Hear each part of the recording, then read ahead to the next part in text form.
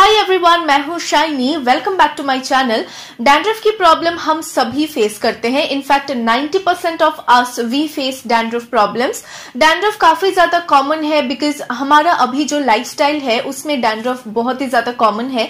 तो डैंड्रफ से हम किस तरीके से छुटकारा पा सकते हैं परमानेंटली या फिर डैंड्रफ का सोल्यूशन क्या है? क्या हम डैंड्रफ को एक्चुअली में ट्रीट कर सकते हैं कि नहीं? या फिर कौन कौन सी स्टेप्स हमें फॉलो करना है?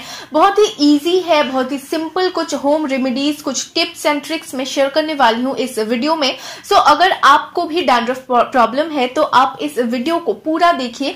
वीडियो पसंद आए तो वीडियो को लाइक कीजिए शेयर कीजिए और मेरे चैनल को सब्सक्राइब करना ना भूलिएगा। So let's get into the video dandruff की ट्रीटमेंट के बारे में जानने से पहले हमें सबसे पहले जानना बहुत ही ज़्यादा ज़रूरी है कि डैंड्रफ एक्चुअली है क्या?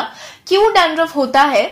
डैंड्रफ एक स्किन प्रॉब्लम है जो जनरली स्कैल्प पर होती है बट आईब्रोज पर ईयर पर और साइड्स ऑफ़ नोज़ पर भी डैंड्रफ हो सकती है. It is not at all uncommon to have dandruff in these areas dandruff के बारे में जानने से पहले हमें एक मेडिकल टर्म को जानना बहुत ही ज़्यादा ज़रूरी है which is seborrhoeic dermatitis now seborrhoeic dermatitis एक लॉन्ग टर्म स्किन डिसऑर्डर है, जिसका सिम्टम्स अगर हम लोग देखें तो red and scaly skin inflamed skin oily itchy dry skin तो बेसिकली इसका मतलब क्या हुआ? स्किन में इन्फ्लेमेशन किसी ऑयली सिक्रीशन की वजह से। और इसका मतलब ये भी होता है कि सिर्फ़ ये स्कैल्प पर नहीं होता, ये स्किन पर होता है। मतलब बॉडी में फेस में किसी भी एरिया पर हो सकती है, जहाँ पर सेबाशियस ग्लैंड्स या फिर ऑयल सिक्रीटिंग ग्लैंड्स ज़्यादा है। अब सेबोरिया के साथ डैंड्रफ का रिलेशन क्या है? जब सेबोरिया बहुत ही इनिशियल स्टेजेस में हो रहा है या फिर बहुत ही माइल्ड फॉर्म में हुआ है, तब हम उसे डैंड्रफ बोलते हैं। हमारे बॉडी में कुछ, हमारे स्किन में रादर कुछ फंगस होते हैं जिसको, जिसका नाम है मेलासीजिया तो वो फंगस हमारे स्किन में, हमारे ग्लैंड्स में प्रेजेंट होते हैं, जो कि बिल्कुल हार्मलेस है। वो हमारी कोई हार्म नहीं करता बट वो प्रेजेंट होते हैं। 1.5 से 2 टाइम्स जब मेलासीजिया फंगस का लेवल हमारे स्किन में इंक्रीज हो जाता है, तब हम डैंड्रफ की इश्यूज़ फेस करते हैं। अब डैंड्रफ जो व्हाइट व्हाइट फ्लेक्स है वो क्या है? ये भी जानना बहुत ज़्यादा ज़रूरी है। हमारे बॉडी में डेड स्किन सेल्स तो होती ही है। हम सबको इसके बारे में पता है। आपका स्किन डेड होता है ऊपर का लेयर और वो शेड होता है। फिर से जो नीचे का लेयर है वो स्किन ऊपर आता है। तो इसी तरीके का ये जो साइकिल है ये 45 टू 50 डेज़ जनरली इसका टाइम ड्यूरेशन है। बट अगर आपके बॉडी में मेलासीजिया फंगस का बहुत ही ज़्यादा लेवल इंक्रीज हो, हो जाता है जब उस टाइम ये जो टर्नओवर नंबर है, ये जो ड्यूरेशन है, ये डिक्रीज होता है सेवन डेज़ में। मतलब सात दिन लगते हैं नए स्किन फॉर्म होने में और ये स्किन को झड़ने में। जिसकी वजह से आप इतना ज़्यादा डैंड्रफ प्रॉब्लम फेस करते हैं। इसका मतलब जो व्हाइट फ्लेक्स है, वो dead skin cells oil secretion और कैरेटिन का एक मिक्सचर होता है। तो अब बात करते हैं, इसको हम किस तरीके से ट्रीट कर सकते हैं, इससे छुटकारा हम किस तरीके से पा सकते हैं। तो काफ़ी सारे लाइफस्टाइल चेंजेस अगर हम छोटे छोटे चेंजेस को फॉलो करें तो आपका जो डैंड्रफ का प्रॉब्लम है, वो रिड्यूस हो जाएगा।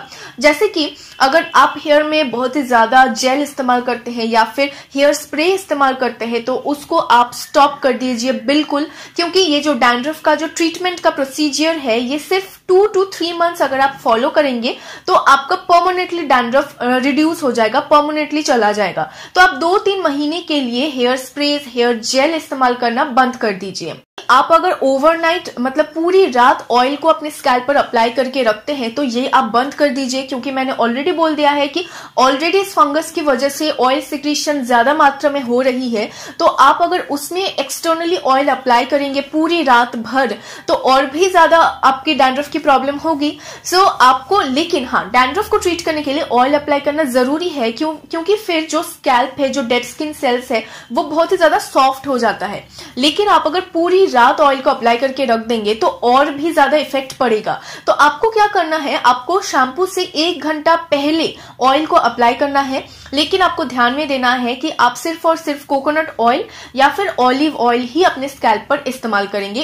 तो अब आप शैम्पू कौन से इस्तेमाल करेंगे? सो so, मैं आपको एक शैम्पू रिकमेंड कर सकती हूँ. This is from the brand अजानी active care ये है उनका एंटी डैंड्रफ शैम्पू अब इस शैम्पू में नेचुरल एक्टिव है. इसके अंदर कोई हार्श हार्मफुल केमिकल्स नहीं है. और इसका जो इंग्रेडिएंट्स लिस्ट है वो अगर आप नोटिस करेंगे तो इसके अंदर जो भी सारे इंग्रेडिएंट्स है सारे ही इंग्रेडिएंट्स डैंड्रफ को ट्रीट करने के लिए बहुत ही ज़्यादा इंपॉर्टेंट है.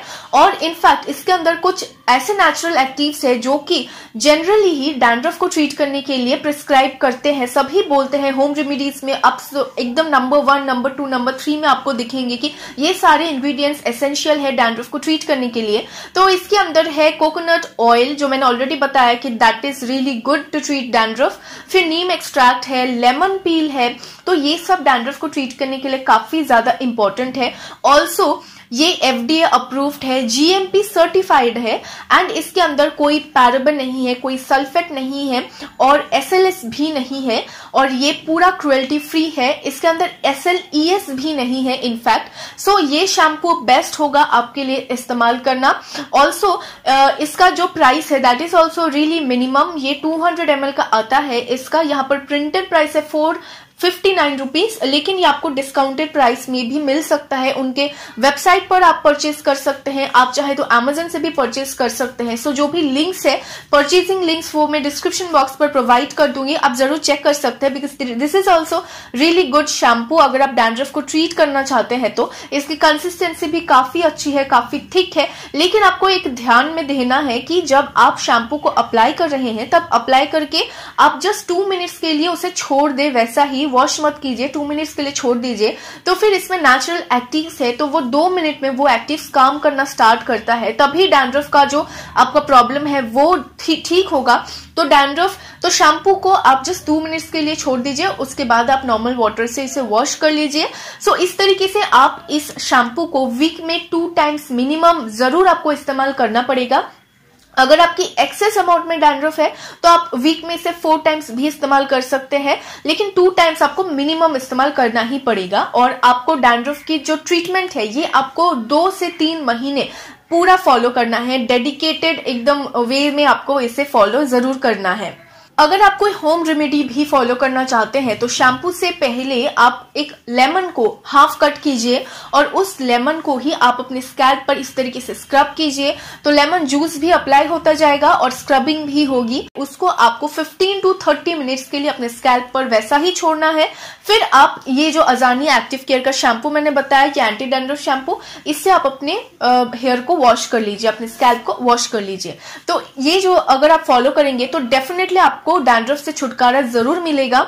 So guys that's it for today's video I hope ये वीडियो आप सबके लिए हेल्पफुल था। इसी तरीके का वीडियोस देखने के लिए मेरे चैनल को सब्सक्राइब ज़रूर कीजिएगा। वीडियो पसंद आए तो वीडियो को लाइक कीजिए शेयर कीजिए और हाँ मेरे चैनल को ज़रूर सब्सक्राइब करना। आज के लिए इतना ही। Stay blessed happy bye